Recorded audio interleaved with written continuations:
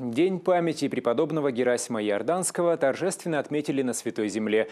Литургия прежде священных даров была совершена в монастыре, который сам святой основал в V веке. Обитель Герасима Иорданского находится в Иудейской пустыне в нескольких километрах от реки Иордан и древнейшего города Иерихона.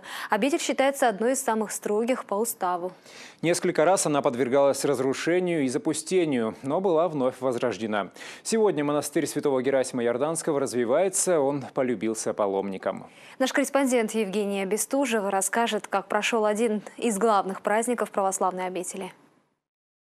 Духовный оазис в пустыне. Именно так называют обитель святого Герасима Иорданского. Тенистый двор уникальной монастырской постройки, тропический сад делают это место подлинной жемчужиной посреди безводной пустыни Иудейской долины. Сегодня в обители проживают всего четыре монаха, и они чтят память святого подвижника, основавшего монастырь в далеком V веке. В свое время сам настоятель, преподобный Герасим Иорданский, достиг такой степени аскетизма, что во время Великого Поста он обходился без еды до самой Пасхи. Только по воскресеньям принимал святое причастие. Образ преподобного Герасима Иорданского на иконе узнать легко. Он изображен вместе со львом. Такая иконописная традиция появилась, исходя из жития святого подвижника. Как-то Герасим встретил в пустыне раненого льва и вылечил его. В благодарность лев стал служить старцу как домашнее животное до самой его кончины, после которой и сам умер на могиле подвижника. Лев был зарыт рядом с гробом святого. Кстати, захоронение Герасима Иорданского не найдено. Известно только, что оно находится на территории монастыря. Как говорит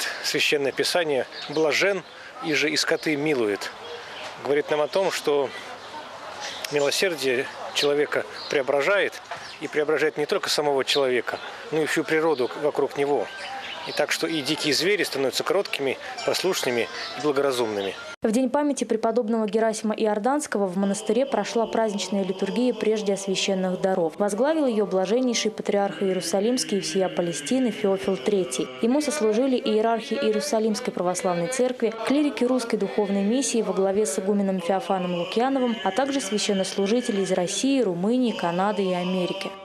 После богослужения все вместе, и духовенство, и молящиеся, совершили крестный ход вокруг монастыря. Процессию сопровождал отряд скаутов с барабанами, православные греки в национальных костюмах, что придавало событию еще больше торжественности.